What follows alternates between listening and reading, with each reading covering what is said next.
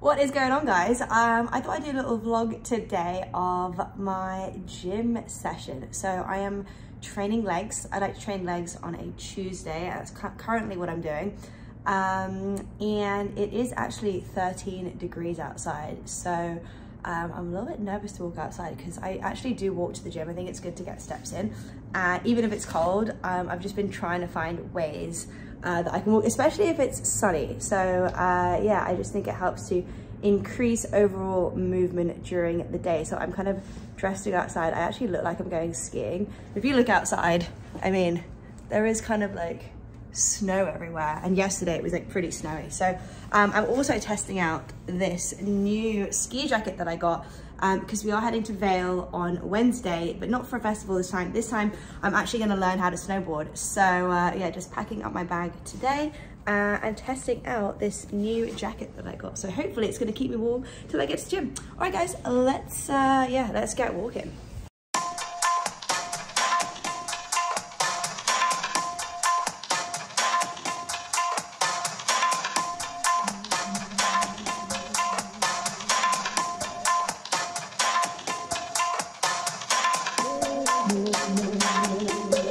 Okay, so it's really not as bad as I thought it was going to be. The thing is, I realized with Chicago is that it can be cold, but it's not actually the temperature that makes it cold. It's actually the wind, because there's wind everywhere.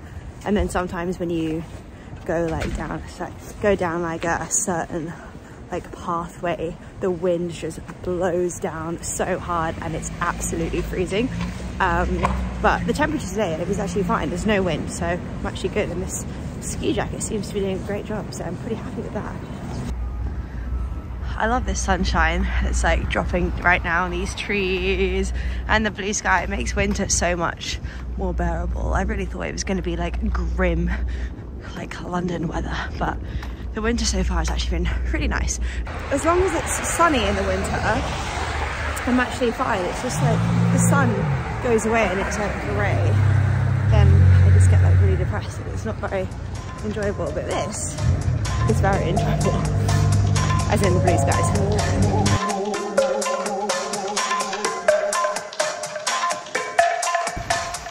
Okay, so just a little recap on what we're doing today. Uh, training legs, going to be doing five exercises, um, starting with the conventional deadlift. Um, and then I'm going to be going through the hip thrust machine, which I really like because it's like so easy to set up uh, in comparison to like a barbell. And it's kind of like in a fixed position which I love.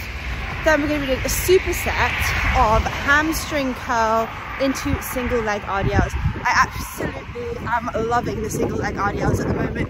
It actually took me a really long time to feel my glutes on these but with practice um, I have found that I'm able to engage them a lot. You have to start really, really slow and obviously really try and think about the muscle that you're using. But it was a little bit tricky at the beginning, but trust me, if you stick with it, you will set those glutes on fire.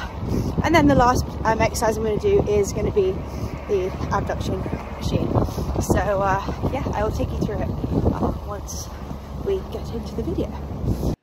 Okay, so the first thing I like to do is warm up for about 10 minutes, but since I've already been for a walk, um, my legs are kind of warm, so I'll just go straight into dynamic stretching.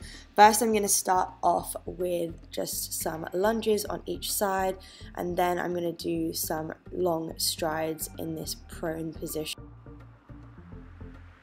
Okay, so the next one I like to do is this frog stretch. Again, I'm keeping things dynamic, I'm keeping things moving, um, hands flat, and then as you can see, my feet are stretched out behind me. I'm just gonna lean forward and I'm gonna keep leaning back, and I'll probably do this 10 to 12 times. The next one is a, another really great one for opening up the hips, and I'm gonna jump on the abduction machine. Um, the reason I do this is because before I was doing this, every time I did deadlifts, I used to have to lie down and crack my back afterwards, and I just had no idea why, but I think it was because my hips were tight. And so I was taught this by uh, another coach back in Dubai. And what I'll do is I'll jump on the abduction machine and I'll just do 10 you know, reps pushing the abduction machine out. And then what I'll do is I'll push it out and jump into this squat position and hold it for 10 seconds. And I'll repeat that process um, a few times until I get a cramp in my butt. Then what I'll do is I'll move on to the adduction machine. I'm going to put it as wide as I possibly can. And then what I'm going to do is I'm not going to go all the way in. I'm just going to do like tiny little reps um, in this upright position. And you put the resistance on something that's a little bit heavy, but not too heavy. So you go tiny reps, tiny reps, tiny reps. Then I'll do um, another few tiny reps, but again, in this position, I'm going to be leaning forward. So I'll go upright, tiny reps, and then leaning forward, tiny reps.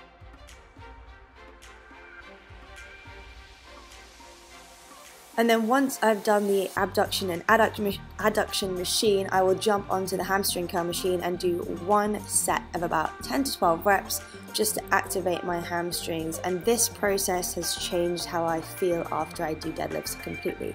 No back cracking, no nothing. And then once I warmed up, I um, just, you know, set up for my deadlifts. I like to use these little sleeves and I like to put them over my shins. It's not for support, it's basically just to protect my shins from getting cuts and grazes from doing deadlifts because the bar does tend to go down my shins. So these have been an absolute lifesaver. Before I used these, I had so many cuts and bruises all over my shins, so I'd recommend them. So the first thing I'm going to do is I'm just going to do a warm up and I'm going to go 15 reps on this warm up with a lighter weight. Uh, I like to do it just with a light weight so I can just mimic the movement that I'm going to do, get my body used to doing the movement um, that I'm going to do for my main set. So once I've done my warm up of 15 reps, I will then add some weight and I will go to 12 reps. And then once I've done 12 reps, I will add a little bit more weight and do set two, which is 10 reps. And then for my third set, I will add a little bit more weight and I will do eight reps.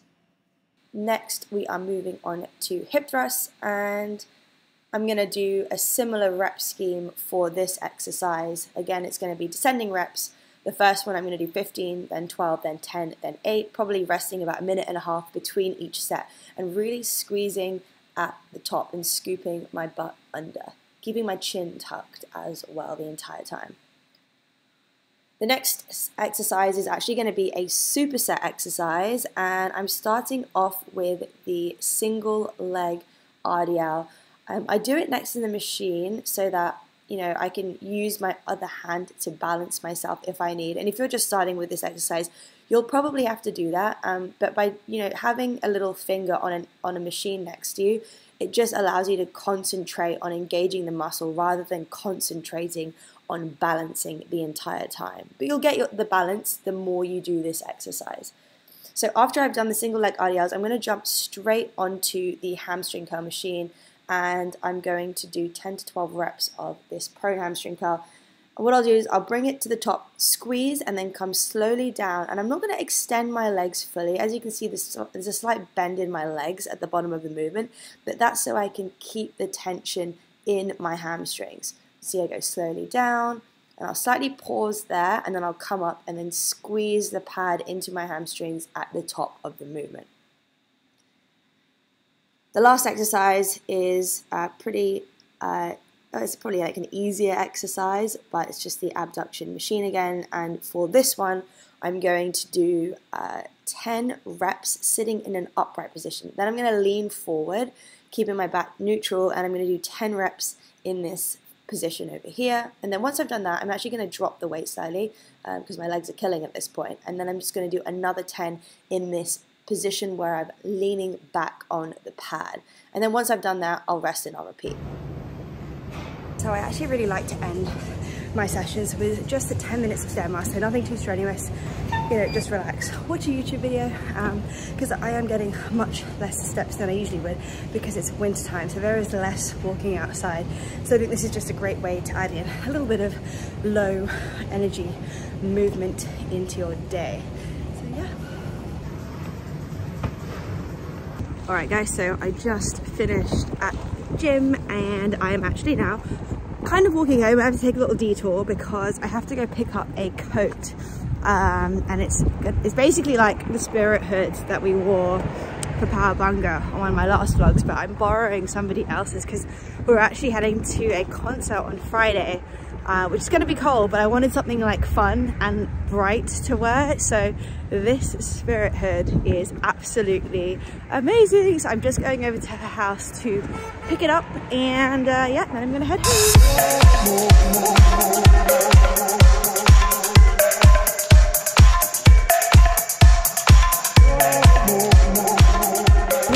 Home from the gym is never as bad as the walk to the gym because obviously you've worked out and your body is like so much warmer.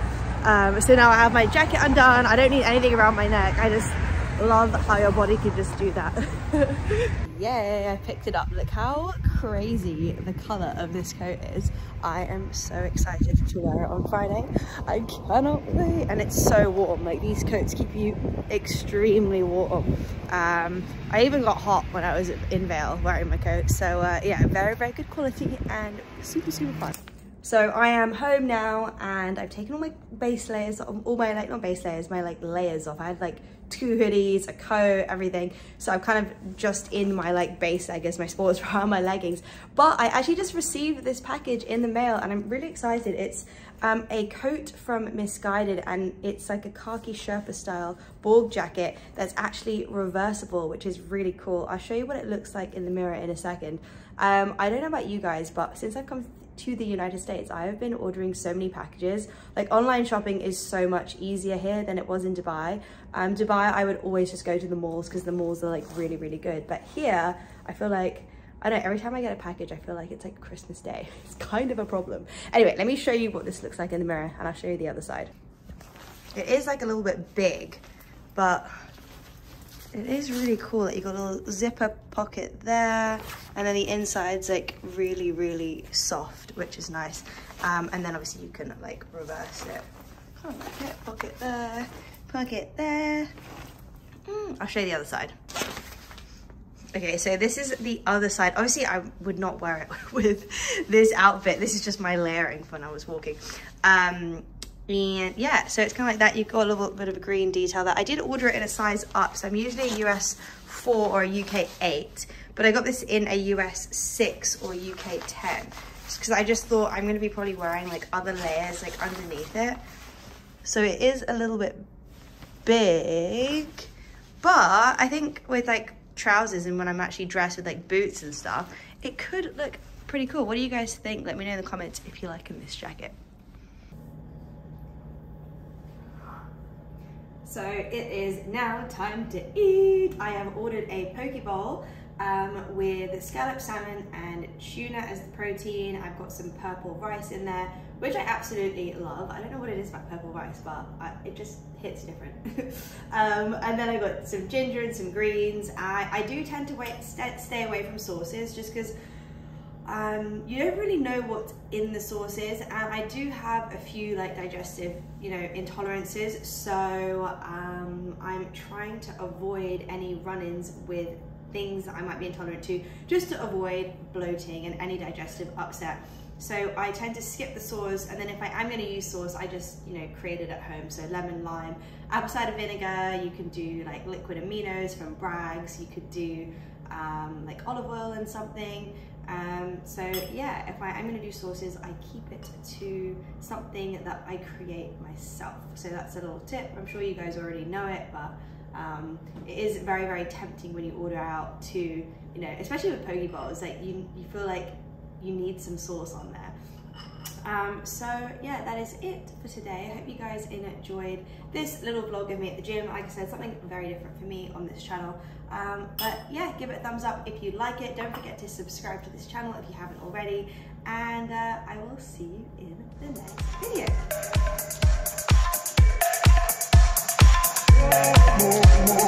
video.